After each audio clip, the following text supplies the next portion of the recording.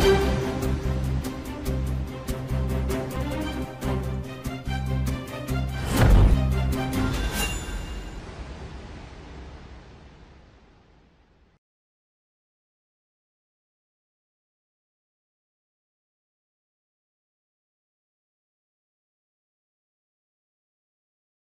செங்கல்பட்டு மாவட்டம் மதுராந்தகம் வட்டம் அச்சிறுப்பாக்கத்தில் சாலையோரம் நின்று கொண்டிருந்த அமரர் ஊர்தி திடீரென தீப்பிடித்து இருந்தது செங்கல்பட்டு அரசு மருத்துவமனையைச் சேர்ந்த அமரர் ஊர்தியானது இறந்தவரின் உடலை இறக்கிவிட்டு செங்கல்பட்டு நோக்கி சென்று கொண்டிருந்தது. இந்நிலையில் மதிய உணவு சாப்பிடுவதற்காக அச்சிறுப்பாக்கம் தேசிய நெடுஞ்சாலை அருகே உள்ள உணவகத்தில் ஓட்டுநர் வாகனத்தை நிறுத்தியுள்ளார். இந்த வாகனத்தை மீண்டும் இயக்கும் போது முன்பகுதியிலிருந்து திடீரென புகை வருவதை கண்ட ஓட்டுநர் தண்ணீர் கொண்டு அணைத்துள்ளார். ஆனால் தீ அதிகம் பரவத் தொடங்கியது. சம்பவம் அறிந்து விரைந்து வந்த அச்சிறுப்பாக்கம் தீயணைப்பு துறையினர் தீயினை கட்டுக்குள் கொண்டு வந்தனர். இந்த சம்பவத்தில் யாருக்கும் சிறு காயமோ அல்லது உயிர்ச்சேதமோ ஏற்படவில்லை என்பது குறிப்பிடத்தக்கது.